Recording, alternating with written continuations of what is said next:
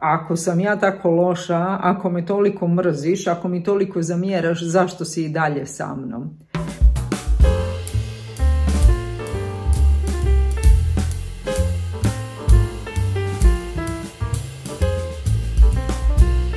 Dobar dan, ja sam Ognjena, dobrodošli na moj kanal Umjetnost življenja.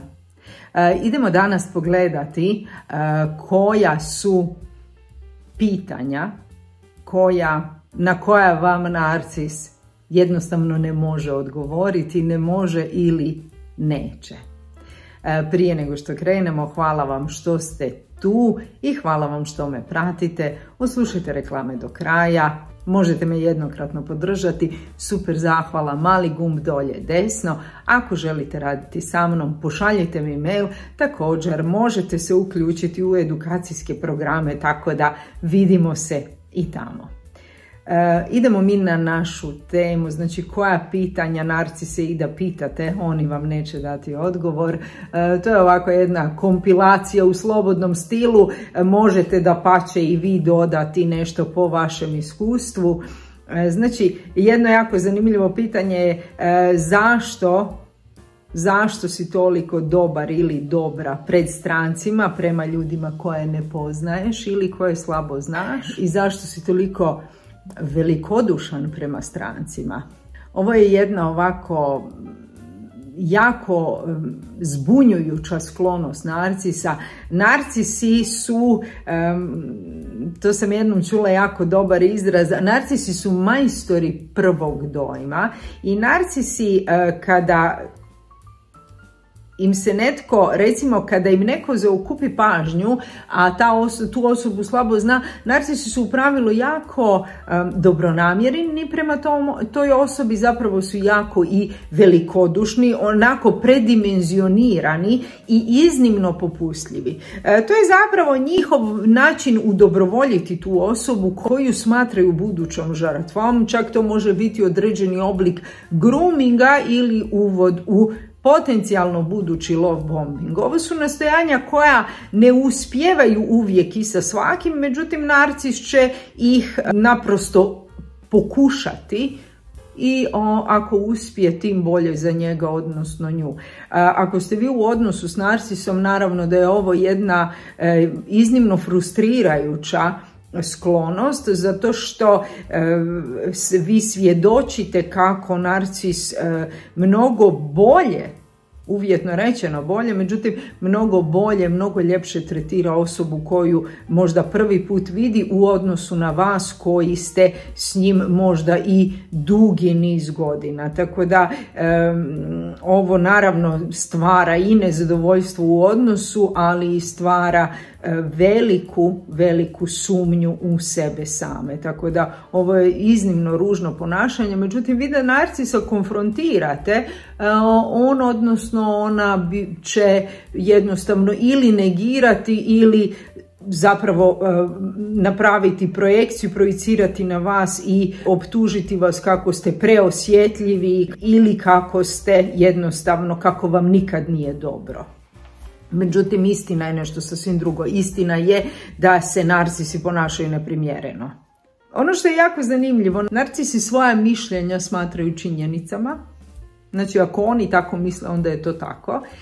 I vi da narcisa pitate, e, zašto misliš da je tvoje mišljenje činjenica, oni prvo i osnovno vam ne mogu odgovoriti na to pitanje, niti će htjeti vam odgovoriti na to pitanje i sigurno e, će se tu boriti e, manipulativnom retorikom e, i nastojati pobiti vašu tvrdnju, odnosno oni će nastojati pobiti činjenicu da oni upravo to rade, oni svoje mišljenje smatraju činjenicom. I upravo zato s narcisima ne postoji zdrav, zdrava razmjena i zdravi dijalog jer rasprava s njima zapravo odlazi uvijek u absurd jer oni prilagođavaju pravila sebi a pritom su neumoljivi, ne odustaju i znači s njima, s njima zapravo je zdrava komunikacija nemoguća.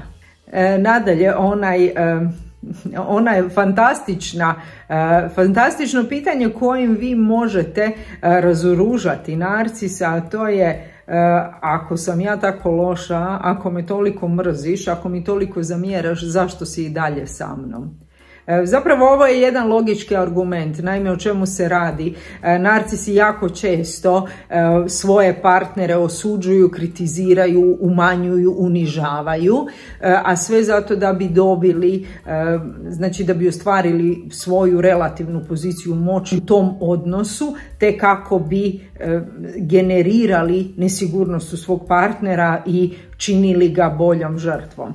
Međutim, vi ako u istinu logikom idete pitati narcisa, ok, ako ja stvarno tako ne valjam, ako sa, ako sa mnom stvarno nešto e, fundamentalno nije dobro, onda zašto si sa mnom?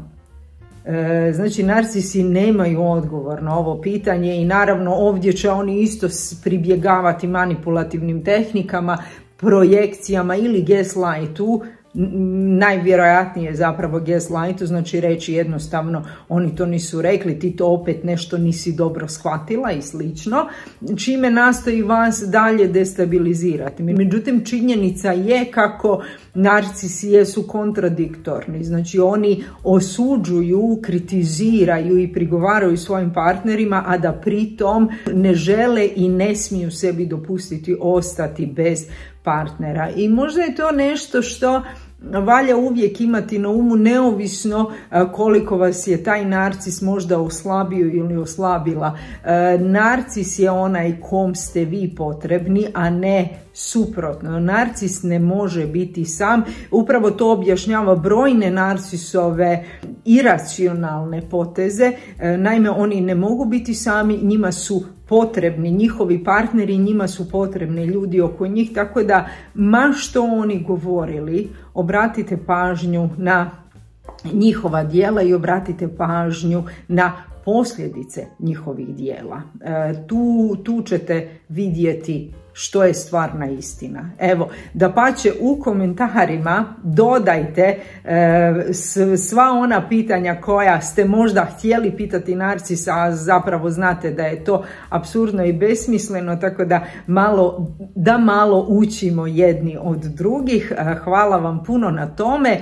Ako vam je potrebna pomoć izaći iz toksičnih odnosa, možete se uključiti u edukaciju, a također možete se javiti za individualni rad, tako da javite mi se s punim povjerenjem na mail, a do sljedećeg razgovora budite mi zdravo, dobro i veselo.